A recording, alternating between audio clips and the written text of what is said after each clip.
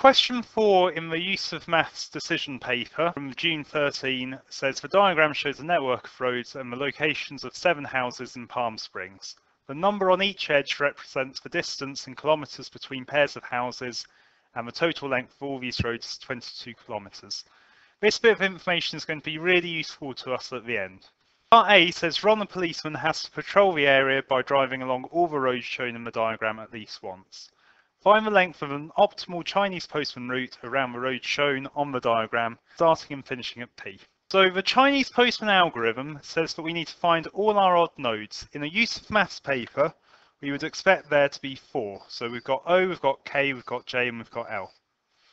With four odd nodes, there are three ways of pairing them up. I can pair up J and K, and that leaves L and O. I can pair up K and O, and that leaves J and L. And I can pair up J and O and K and L. So these are my three ways. Now I just need to find the distances. Be careful, we're always looking for the shortest distance, and it's not always immediately obvious what the shortest distance is. Between J and K, the distance is 1.3. Between L and O, the distance is, well, we could go L to K and down. That would be 3.8. Or I could go down to N and across. That would be 3.5. So the shortest one's 3.5. This total is going to be 4.8. For K to O, well, clearly the shortest distance is 2.7, and J to L, the distance is 2.4. So this gives us a total of 5.1. And if I connect up J to O, well, that's going to be 4, and K to L is 1.1. So that's going to be 5.1. The shortest pairing is this one. So I want to pair up J to K.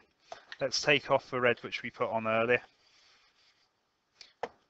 So we want to go along the road J to K twice and we want to go along how we did L to O, which we did by coming down and across. Notice that it asks us for the length of the optimum Chinese postman route. It doesn't actually ask for a route. So we know that we're going to have to walk along all the roads once but we're going to walk along J to K and L to O twice. We're going to do the 22 that we were given at the start, and we're going to add on the 4.8 that we've just found, and that's going to give us 26.8. In an optimal route corresponding to your answer in part AI, state the number of times the letter L would appear. So what we need to think is I'm going to go into L and I'm going to go out of L and then I'm going to go into L, and because we're going along this road twice, I'm going to go out of L. This is why I think it's always a good idea to draw on the repeated rows onto your diagram. You can see we've gone in and out, in and out, so we're going past it twice. And then the last part says George is to drive along all the roads delivering leaflets.